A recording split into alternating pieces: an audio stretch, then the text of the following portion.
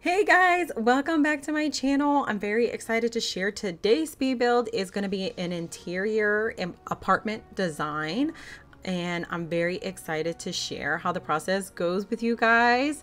So thank you guys so much again for the support. As always, please make sure you like and subscribe. I know people say that every time, but it truly, truly helps if you thumbs up the video and subscribe.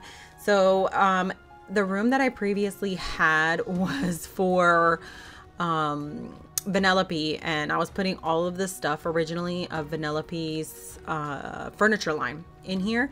And then I decided, let me just use this room to make the room that I want. So I'm putting the different walls together like this because that zigzag looking wall is going to be the kitchen-ish, the kitchen area.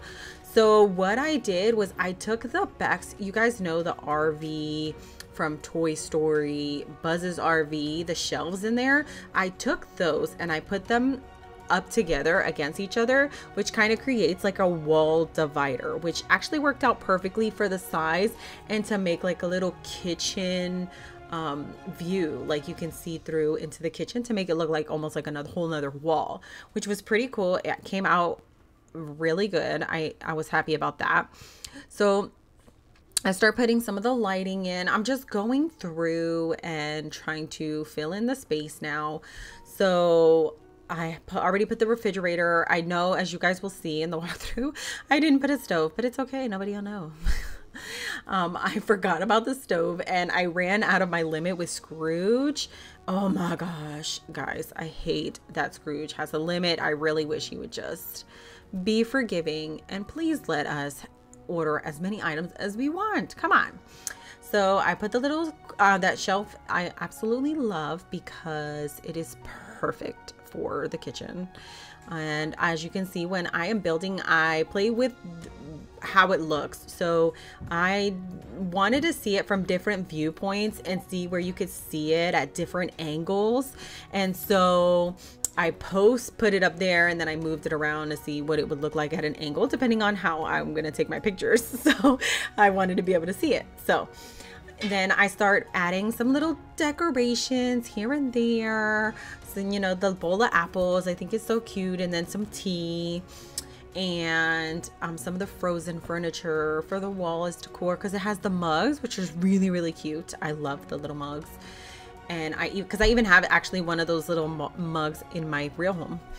And then I start just throwing out all the things that I know that I wanted to put out into the design so that I don't forget because sometimes when I'm designing I forget what I went to Scrooge because I before all this I went to Scrooge's store bought everything that I thought that I might need and then I started building. And sometimes I forget what what I purchased and what I was gonna use. So as as I see it as I scroll I start to just throw it out and so that I know.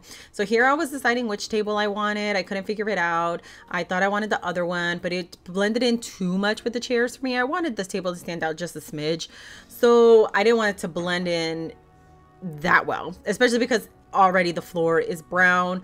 So I needed a little bit of contrast. so I changed that. I started putting the TV up and that little stand is the only stand that I really like because other than that, it's um the only thing you can find is like the dressers. The dressers are the only thing that you can find. So, and then I use the Monsters Inc. couch is one of my favorites. I love it. I was going to do a custom brown couch here and just do plain brown, but I love the look of the Monsters Inc. couch. It just has so much more detail to it. Whereas I can't, I don't know if I can even do that with the custom couches. So I just leave that as is. And then I decided that I wanted a little, make the kitchen a little bit smaller and I wanted a little more space for the dining area. So I started to move everything over in the, um, in the kitchen. And if you guys hear kids in the background, it is because I have them and it's impossible to not be around them. So And so I'm just fixing up the, you know, a little bit of the decor and I love those plants. They are my absolute favorite. And then I tried to figure out which window I wanted to use. I wanted a small window. I wasn't a big fan of the little window, but that is what I used in the meantime. Then I started putting windows all around the apartment because I didn't want one window, just one random window. I wanted to try to line it up, try to make it look like almost even. And then I wanted to put two windows around the TV, like a accent, kind of accent on the wall. But so I just moved the door over and then I wanted to put like a little um, area for cute decor. So I use that table, that same table again, because again, it's my favorite table for just um, like a console table or walk-in, like the walk-in area table. I don't know what they're called officially, but yeah. So I, then I start messing with the decor on the wall, trying to figure out what looks good, what doesn't. And then I am on my way to trying to throw in some decoration. I thought I wanted the pampas grass and then I decided against it. I decided I didn't really like that.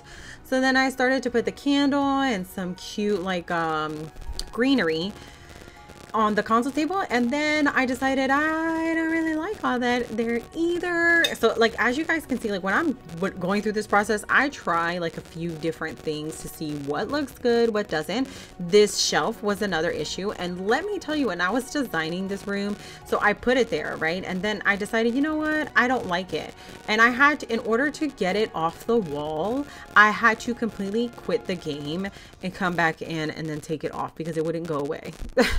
It was super frustrating. Then I put some this awesome painting. I loved the way that the console table came out much better with the than the plants with the vase from Lion King and the little uh, bowl that you can craft. I forgot what they're called. You can craft uh, with the new DLC. And then I want an entryway rug, but we don't have those. And the only one I think that's small enough is like pink, so that wouldn't have fit.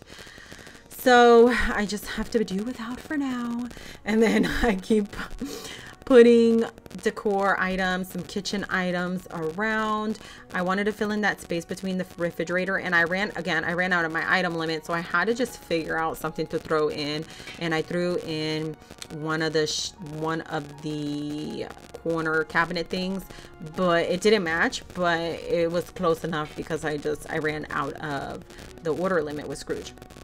And then I put some extra lighting around uh, to accent, to make a to accentuate the door. And I don't like leaving the walls too plain because then it looks very boring to me.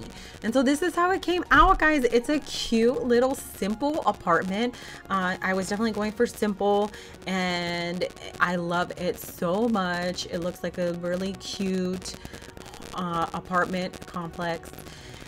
And so this is how it came out. I really hope that you guys enjoyed I put, you know, some food on the table, a little, a cup of coffee. It looks so good. I love the fact that Buzz's RV shells can be cater to do something like this. It came out so much better than I expected. I really, really enjoyed building this. This was such a simple and quick build. I did it with under an hour. I really hope you guys enjoyed. Thank you again so much for the support and the love and being on my channel. If you guys have any questions, definitely let me know in the comments. If you want to see more interior builds, let me know. If you want to see more outdoor builds, let me know in the comments. And again, thank you guys so much. And I will see you guys in the next video. Bye.